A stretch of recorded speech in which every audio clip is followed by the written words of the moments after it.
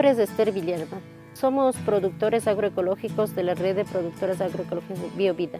La organización se viene formando más o menos desde el 2002, pero en mi caso yo me he formado eh, directamente como productora desde el 2009 acá. Ha habido el cambio, ha habido ya la concientización en mí de la importancia de la producción, del consumo sano, de la seguridad alimentaria de mi familia. En la actualidad como BioVida estamos 78 compañeras de BioVida y 13 compañeros de Santo Domingo de los Áchilas, que también son productores agroecológicos. Hace, hace muchos años aquí en la comunidad se implantó primeramente la recuperación del suelo, porque los suelos nuestros han sido cangabosos, no ha tenido máximo de profundidad 5 centímetros, entonces la Casa Campesina eh, nos apoyó haciendo la subsulación, la roturación del suelo, luego la instalación del sistema de riego para poder eh, em, implementar nuestras pequeñas granjas. La cuestión del riego es que nosotros de esta materia orgánica que cosechamos la transformamos en abono y ese abono le ponemos en, la, en las camas de cultivo que al momento de darle riego hay que darle solamente un poco, una, una mínima parte de riego porque la materia orgánica que se la puso absorbe y sostiene la humedad.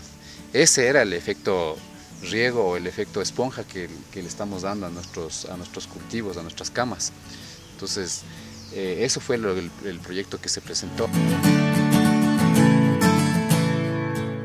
Esta esponja natural que a poquito se le pone el, agua, ya absorbe y, sostiene el agua, retiene el agua. Esa es la, la propuesta de riego que presentamos.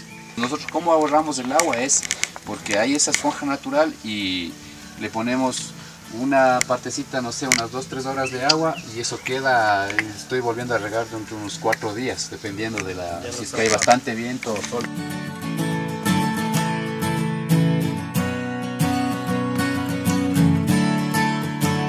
Porque anteriormente, ¿qué es lo que hacíamos?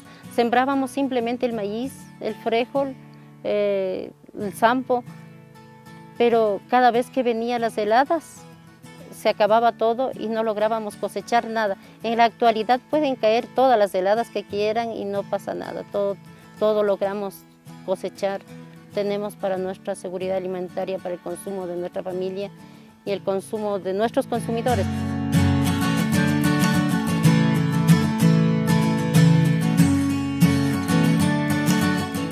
El buen vivir no solamente es la familia, el buen vivir es el cuidado, el, entender que el suelo es un ser vivo al que hay que alimentar, al que hay que abrigar. Empezamos cuidando primeramente a, nuestro, a nuestra Pachamama.